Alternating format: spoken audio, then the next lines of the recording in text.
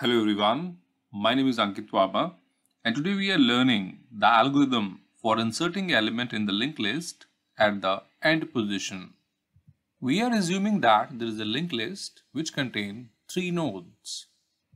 Every node of linked list has two parts. The first one is info and the second part is link part. Here the node 1 link part contain the address of node 2 Node 2 link part contain the address of node 3 and the last node node 3 has the null. Linked list contain a start pointer which point to the address of first node. Let us suppose there are certain elements inside this linked list. Let's say the node 1 contain 7 in the info part, node 2 contain 9 and node 3 contain 10.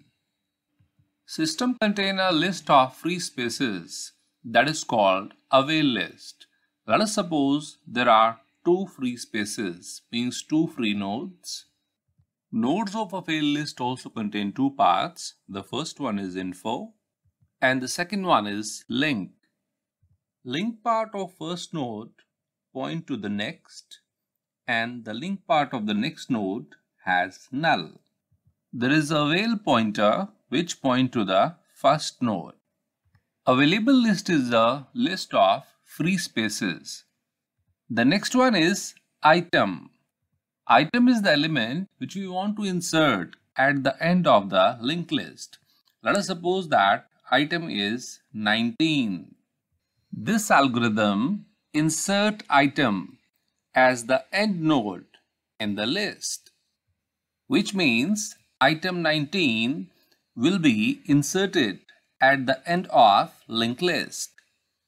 Line number 1 of algo says that if avail is null, we know that avail is the list which provide us the available spaces. But let us suppose avail is null.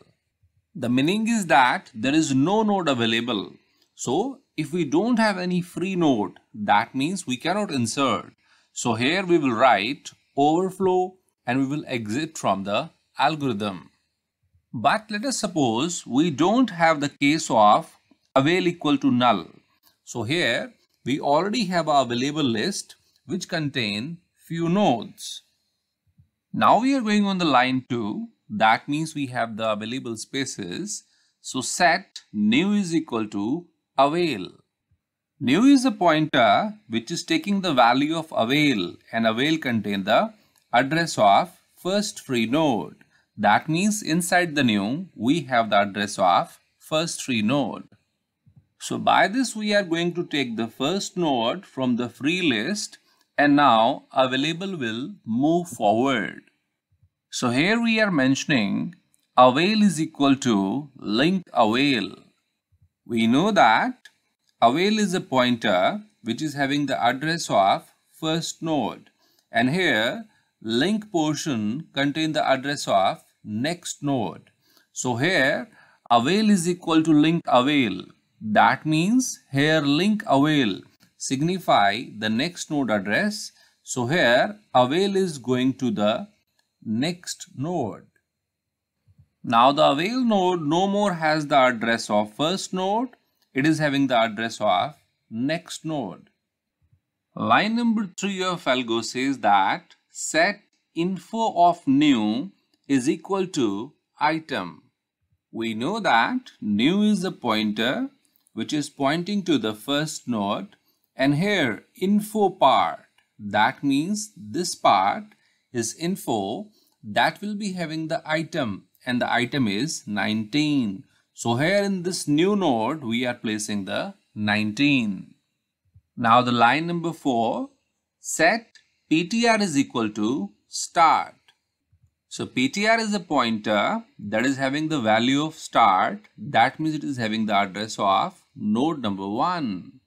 Now the line number 5, repeat step 6. That means 6 step will be repeated while link of PTR not equal to null. So here we are checking that PTR is on the node number 1 and here link portion is having the address of next node and next node is not null. So here condition is true that link PTR not null. So the line number 6 will execute that set PTR is equal to link PTR. We know that the link portion have the address of next node. So here PTR is going to have the address of next node and the previous value will be discarded. It is a loop. It will go back and again check whether link of PTR not equal to null. So here we are checking that PTR is a pointer that is pointing on the node number 2 and here link is having the address of next node and the next node is not null. So here condition is true and the line number 6 will execute. So PTR is equal to link PTR. So here PTR is pointing on the node 2 and link of PTR is the next node. So here PTR will be going to the next node which is node number 3 and the previous value will be discarded. Again the loop will go back and checking the condition and the condition is link of PTR not equal to null. We know that PTR is a pointer which is pointing on node number 3 and here link portion of that node has null.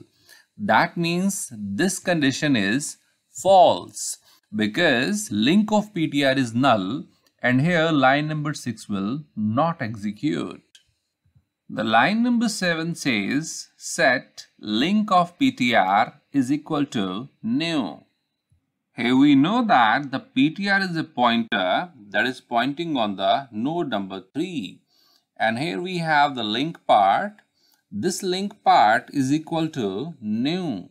So here link of PTR is having the value which is with the new. And we know that new is having the value that is address of the node which we have taken from the avail list. That means it is having the next node that is 19 and the previous value was discarded. Afterward we have link of new is equal to null. Here we know that new is having the address of node and here the node link part that will be equal to null. So here the previous value was discarded.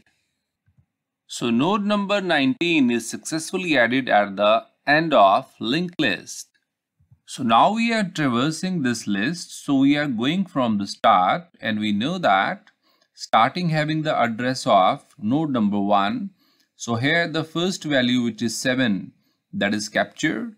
Now the link portion is having the address of next node, node number 2 and here the value 9 that is captured. Then link part is having the address of node number 3 and here the value is 10. Then node 3 link part is having the address of next node and here the value is 19 and afterward it is going to the null that means linked list is ended. So here we can see that the item 19 is inserted at the last position in the linked list. So this is the algorithm for inserting the node in the linked list at the end.